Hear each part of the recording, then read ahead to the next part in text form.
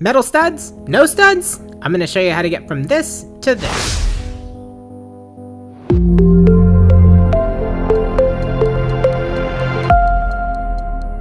Go ahead and start by taking all the parts out of the box so that you can get to the mounting bracket. From there, you want to take that mounting bracket, place it on the wall, and check it for height, and if you're mounting to studs, your stud location. This is my favorite stud finder. There's a link to it down in the description below, but it locates both wood and metal studs inside your wall.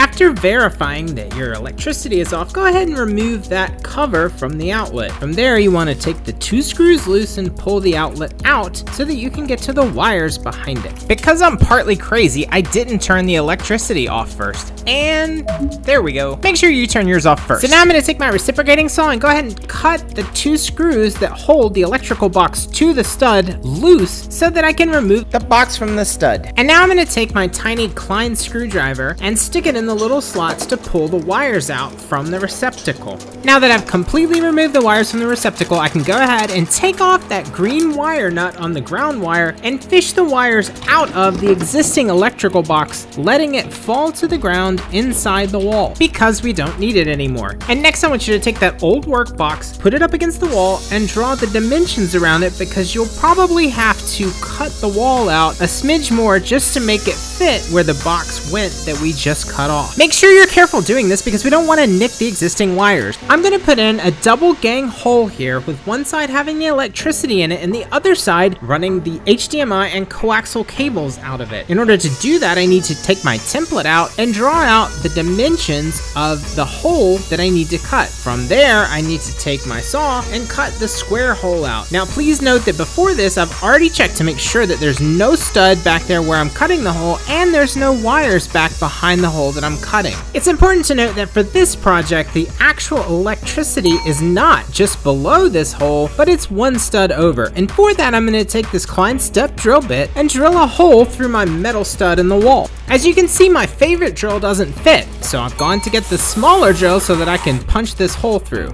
We don't wanna run even insulated wire through bare metal, so it's important to get the right size bushing to snap into that hole that we just drilled. You can actually skip this step if your TV is going to be located just above an existing electrical outlet in the same cavity. From here I'm going to go ahead and take that 12-2 Romex and run it through that bushing that I just placed in the stud and fish it out of the hole on the other side. From there I'm going to take that wire, strip it down, insulate it, run it through my new workbox, install the new workbox, place the existing wires back into the outlet where they were, and then run the new Romex to the screws on the outside of the outlet. I'm effectively tapping into an existing circuit here. I've created another video on how to do that here. The black wire goes to the gold terminal and the white wire goes to the silver terminal. The new ground wire was twisted into the existing group of ground wires and the green nut was put back on. Now push the outlet back into the box and put the cover back on. Now we're done tapping into the existing outlet. Let's start by stripping the ends of the Romex so that we can place the Romex into the new work box that we're about to install. I'm stripping off about 4 to 5 inches of the insulation, and then I'm going to pull the coax and RG6 that I've previously run into the wall out of the hole. Next up, you'll want to feed those wires into the existing workbox and pull them all the way through. Mount your electrical box on the right side of the double gang hole, strip the ends, and curve the wire so that you can put them around the outlet screw posts. Once again, the neutral goes to the silver screw, so the white wire goes to the silver, the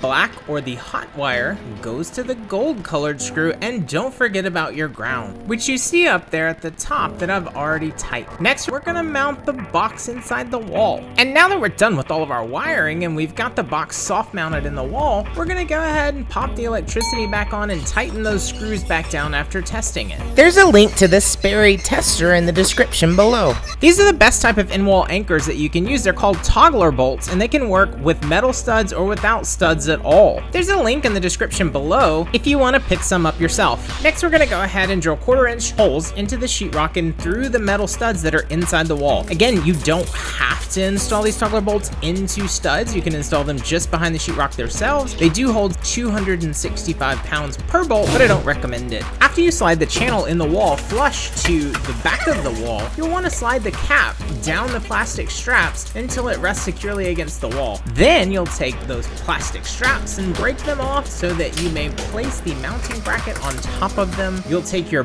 bolts from that point and go ahead and manually start them, threading into the screw holes, and then later you can use a tool to tighten those on down. So after this, you want to go ahead and make sure that you've secured the mounting brackets to the back of the television that you're trying to hang. From there, you want to take the TV and place it onto the wall mounted bracket that we have hanging there. After that, you'll take those wires that you have outside and go ahead and tuck those behind and hide them. So guys, we do a lot of these type of how I did it videos on this channel. If you like this kind of content, you want to see more, please like and subscribe. Hey, do you have some comments? Do you have some questions? Anything? Throw those down in the comment section below. I'll be happy to answer them for you. If you like this kind of content, please smash that like button and subscribe. Check out some of the other videos that we have posted here too. I'll see you on the next one, and thanks for watching.